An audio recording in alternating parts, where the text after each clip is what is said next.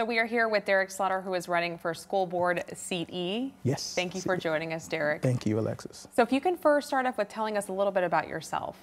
Well, I'm uh, 36 years old. Um, a father of uh, one son and one daughter, uh, due any day now. Um, I've lived here in Anchorage for uh, 20 years. I'm a graduate of uh, Bartlett High School.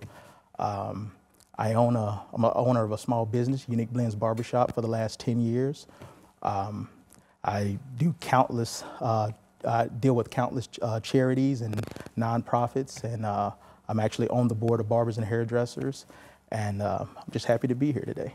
So like you mentioned, you have one son that's in the Anchorage School District. Is that one of your motivating factors to, to run for school board? That is the one of the main factors. Uh, you know, I'm a, I'm a parent uh, of a child that attends Creekside Park uh, Elementary, and I'm fully aware of all the challenges that not only Title I schools have, but neighborhood schools have as well. So that's one of the main factors of why I'm, I'm running. What do you think that you can bring to the table?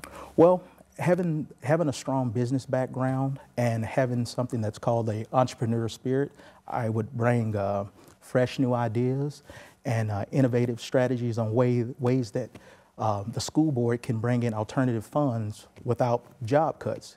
You know. What do you think is that the biggest challenge ASD is facing? The largest challenge you ask any teacher they have right now is parent involvement. We have to bridge that gap between parents, kids, and our educators.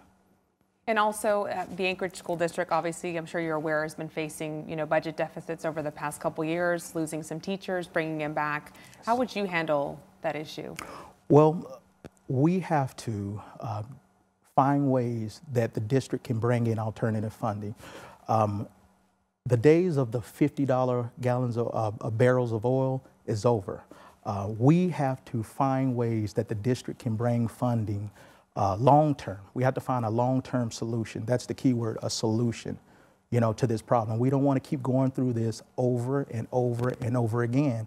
And being a business owner, I've went through something similar to that. Uh, when the soldiers uh, went uh, to Afghanistan and Iraq, my business dropped almost 40%. So I had to restructure, reinvent myself in order to survive those tough times. Do you have any thoughts? Uh, a lot of the other candidates have been talking about charter schools and having other options. Do you have any thoughts on?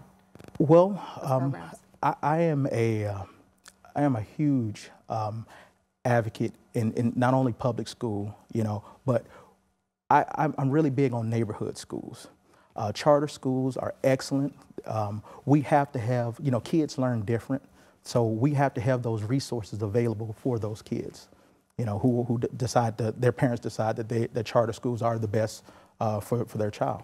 As well, great. Those were all my questions. Is there anything else that you would like to add? Yes, I, I would. Um, I'd like to challenge um, all of our, not only all of our viewers, but, you know, parents, grandparents, aunts, uncles, uh, educators, uh, and taxpayers and, and Anchorage residents.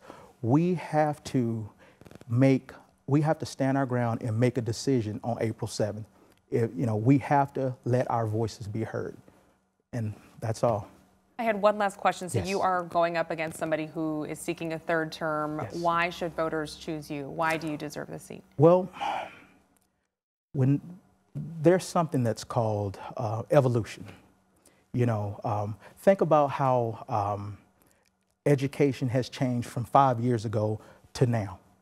Um, we have to have someone that's in place that can grow with the district. Uh, my opponent, she's had six years, so she's only going to have three more years left. If someone picks me, I have nine years to grow with the district and make those changes. That's all. All right. Thank you so much, Thank you, Derrick, Alexis. for stopping by. Derrick Slaughter for School Board Seat E. Thank you.